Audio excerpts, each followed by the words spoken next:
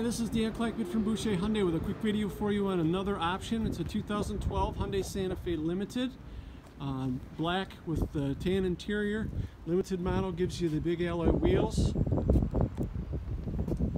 Leather, heated leather seats. Sunroof.